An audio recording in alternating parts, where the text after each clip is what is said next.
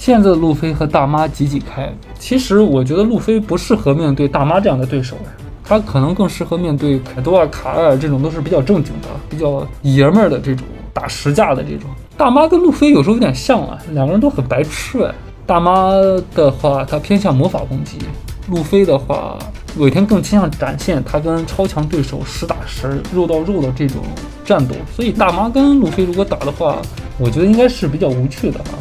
可能确实罗跟基德跟大妈打的话更合适一点。罗的那个智商，呃，基德的那个磁力能力，罗的这个手术能力，有种魔法大战的感觉。其实我个人觉得还是比较精彩的。那回到路飞跟大妈现在几几开的问题，路飞把凯多过来，凯多跟大妈在之前也是打了一天一夜，不分胜负，所以大妈看上去很蠢啊，表现非常拉胯。但大妈人家是天生邪神，人家基础的这个实力在。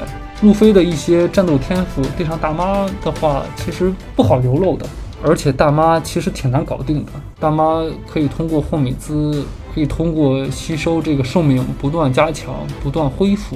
尤其在这个霍米兹的层面，罗用他的这个仿制激进果实的能力，很好的克制了大妈。就是大妈这种对手适合智取啊，像罗这样的。结合基德这种蛮力、这种硬实力，这是比较良好的可以打败大妈的方式。那大妈对上路飞的话，这两个人都是怪物啊，这两个人都可以不停的站起来复活，两个都有点白痴。